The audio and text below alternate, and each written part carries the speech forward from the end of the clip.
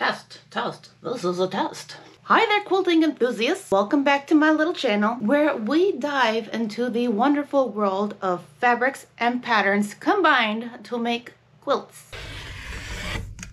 Today I got a special treat for you as we embark on a pattern test using the Island Batik blenders.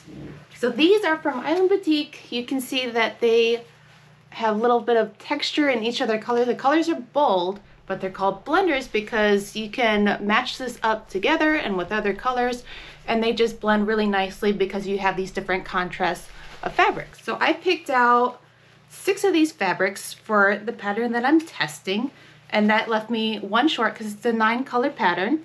And what I wanted to do was just have a little bit of flexibility with my stash to fill in any gaps because I picked them out online and you just don't know what you're gonna get until you have it in your hands. The pattern that I am testing today is called Speculo. It's from Quiltberry Hill. I've actually patterned tested for her twice before. I pattern tested Nightlife and I pattern tested Table Runner called Tuxedo. They both still have to be quilted. But I love working with Hillary at Quiltberry Hill.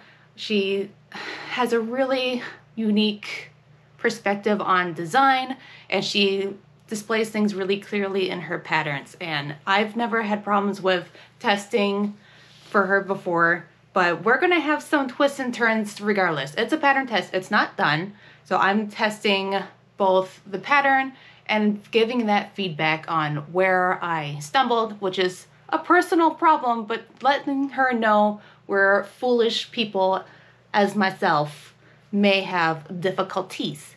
All right, let's dive into this pattern and see what it's made of.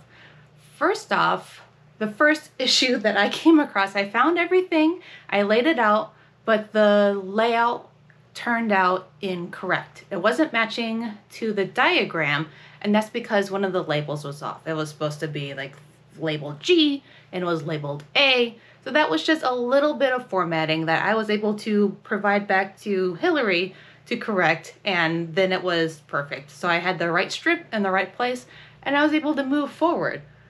Second error was on me. I I made a bad cut.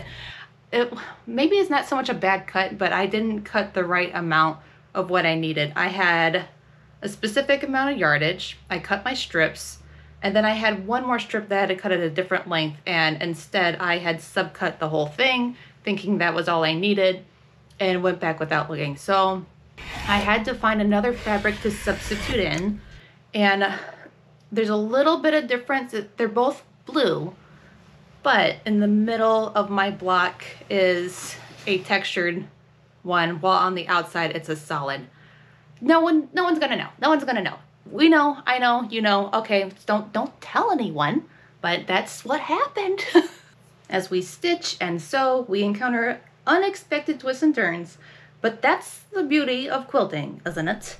It's an art form that thrives on the ability to adapt embrace imperfections and create something truly one of a kind the rest of the quilt went together smoothly. I tested the throw size quilt. They offer a baby size quilt as well. I didn't test that, so other testers in the pattern testing group were able to identify any kind of formatting um, on the diagram. There was a block flipped, and they got through all that together. Result. So she worked out all of her quirks, and the pattern's available now. I was able to get the quilt top done. It's not quilted yet. That's going to happen in September because this quilt is actually going to a special charity and I want you to stay tuned for how I quilt it and where it's going to end up going along with a couple other projects that I have. So I hope you enjoyed that and learned a little bit about the testing world and if you want to participate you can go on Instagram and search hashtags like quilt pattern testers wanted. Um, I'll share to my story if you follow me on Instagram it's Bobbin with Brittany and I'll share different things to my story when I find other people that are pattern testing. I don't have time to do them all. I sign up for a lot of them. They're a lot of fun. You meet tons of cool people and make a, a lot of friendships. A lot of the people that I still talk to outside of Instagram, I met through pattern testing. Okay, my video cut out because it's doo doo. so, the last note I want to make is that with pattern testing, there's different levels of participation. Some um, are just pure volunteer, they just do it for free. Some people will get gifts for doing pattern testing, and then some of it's paid work and through a contract.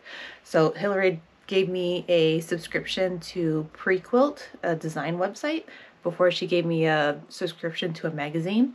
And I'm super happy with that arrangement because then I don't have to deal with contracts and payment plans. So, totally awesome. I love supporting her, and it's super sweet when she thinks of these little gifts to, to hand over and she gives a final version of her pattern. Not everyone does that either. So, all right, now I'm ready to close it out.